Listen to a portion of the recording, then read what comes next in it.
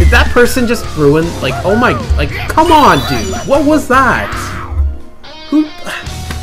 Well, gotta take a look at Wiimmfi, maybe ban that person. What was that?